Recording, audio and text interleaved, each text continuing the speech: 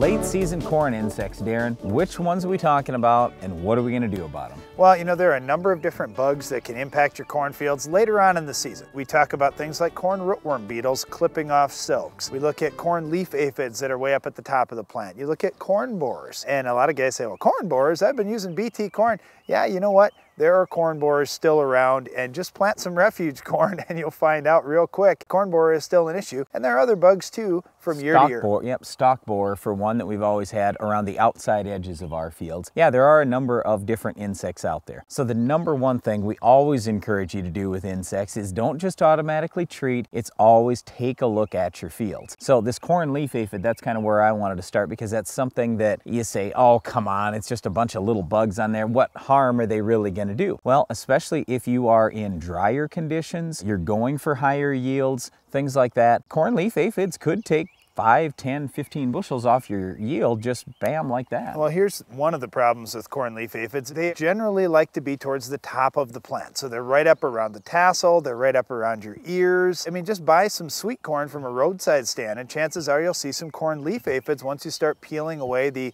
outside layer or two you know, of leaves around that ear. So corn leaf aphids can be annoying and they can also be an impactful on those upper leaves of the corn plant that are gonna catch that sunlight energy to finish out your corn ears at the end of the year. So yeah, they can mess with pollination, they can mess with your late season ear fill. There's a lot of problems, especially when you get quite a few of them. If your plants are under stress, you're probably looking at just 50 to 100 per plant is the threshold. If your plants are under absolutely no stress, everything is perfect, you might be able to get by with 200 to 400 aphids per plant before you start having a major issue. Well, when corn is at these price levels, Brian, I just don't understand why you wouldn't be aggressive going after it. Well, I'll tell you why. I'll tell you why is because you've got to hire a plane to come out and do it. It's right. not something where you That's say, true. well, I'm already out there spraying my herbicide, I'll just throw it in. But there are a lot of farmers who are automatically now spraying fungicide late in the season, so they're already getting the plane out anyway. It's the right timing for spraying corn leaf aphids. So that's the point where before that plane does come out, you want to scout your fields. If you've got a bunch of leaf aphids, it only costs maybe three or four bucks to throw in, let's say some fanfare or something like that, generic bifenthrin, and you can get great control of that as well as something we haven't mentioned yet, Darren, spider mites. Well, if we get dry again, you know, and you look back at 2012, this was an issue all over the place. We saw spider mites where guys had never seen them before, hadn't seen them for years, and bam, we get a drought year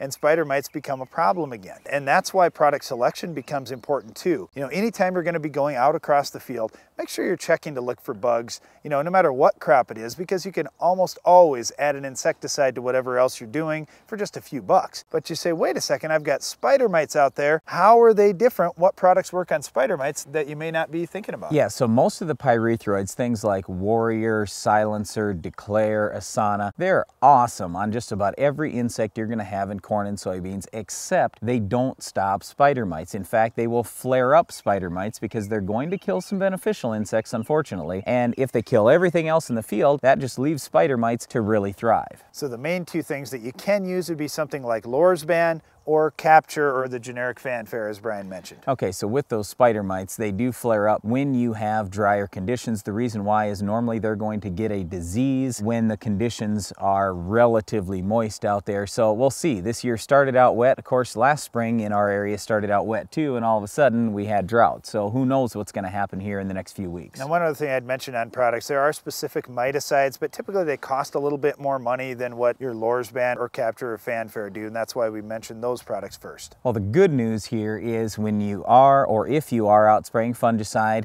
at full tassel. You can get those corn leaf aphids, you can get spider mites, you can also get the next bug we wanted to discuss and that is adult corn rootworm beetles. Anytime you're seeing adult corn rootworm beetles out in your field, and I don't care what kind they are, if they're northerns or westerns or southerns or whatever, it doesn't make any difference to me. What those guys like to do is go clip off silks on your ears. So as your corn ears are forming and the silks come out, those rootworm beetles for whatever reason go right after it. And I've seen fields across the country where guys have had so many rootworm beetles out in their fields. They've literally clipped the silks down to just about nothing and we didn't get pollination on the ears. And there's nothing more sad to me than looking at a cornfield that has all kinds of potential and there are no kernels on the ears because those silks got clipped off. Now this is especially an issue if you're going to plant corn in that same field again next year because what do you think those adult corn rootworm beetles are going to do shortly after they come out? Well, pretty soon they're going to mate, they're going to lay eggs, and now you've got a major issue going into next year. So what a lot of farmers are doing today, in addition to using insecticide, using BT corn to control these rootworms, they're controlling the rootworm beetles when they come out later in the season with insecticide, and all the products we've already mentioned, even the silencer Declare, the fanfare Lorsban, all of them will control adult corn rootworm beetles for very little money. So yeah, it's really inexpensive. And also keep an eye on your other crops like soybeans, for example, because some of these adult corn rootworm beetles will move into those soybean fields. They'll lay eggs there as well and have corn rootworm larvae feeding on your corn that goes in those fields next year. Okay, so we also mentioned corn borers, we mentioned stalk borers. There's several other insects. A lot of these insects can be controlled by BTs. Stalk borer